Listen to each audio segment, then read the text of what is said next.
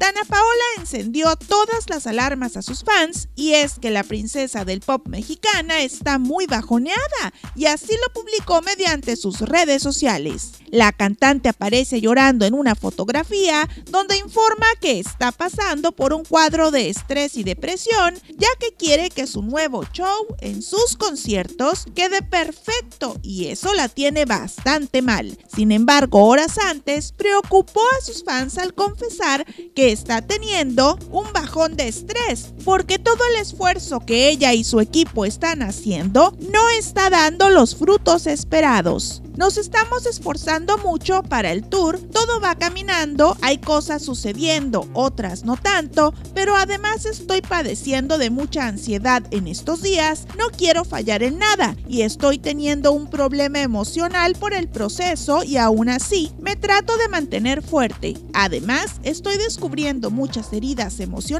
de hace muchos años, que no sé por qué están desbloqueándose ahora mismo, escuchando la letra de una canción y me pongo a llorar de la nada abrazando a esa Dana que tenía mucho miedo de ser, comentó la también actriz. Además se sinceró con sus fans y habló de cómo liberarse un poco de los sentimientos guardados mediante el llanto, ya que dice que uno tiene que sacar lo que le duele porque enferma por dentro y años después se presenta esa herida que no se trata a tiempo. Sanar es muy importante. Deben permitirse abrir esas heridas cuando se sientan listos y no guardarse nada. Llorar ayuda a limpiar el alma, dijo Dana. Después de alarmar a sus seguidores, la cantante agradeció las muestras de cariño por parte de ellos, pero también anunció que tuvo que cancelar el concierto en Veracruz. Sin embargo, lo reagendó para otro día, pues del 22 de octubre pasará al 26 de noviembre, por lo que sus fans aún podrán disfrutar de este gran tour que ha sido muy exitoso.